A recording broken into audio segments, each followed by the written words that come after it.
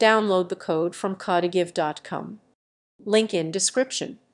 To retrieve labels from input elements in JavaScript, you can utilize the relationship between input elements and their corresponding labels.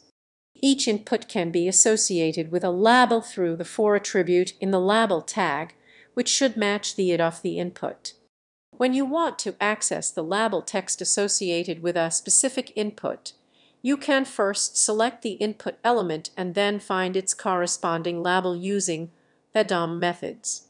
Alternatively, if the input elements are nested within label tags directly, you can access the label text directly through their parent node. This approach allows for seamless retrieval of the label's content, providing a clearer understanding of what data the input is expected to contain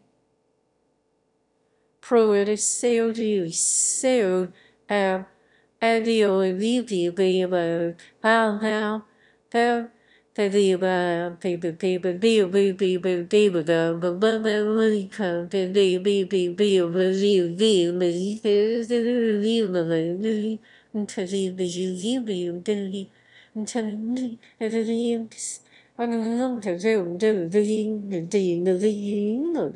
well, Lord. By ensuring proper association between inputs and labels, you enhance accessibility and usability, making it easier for users to understand forms and their inputs.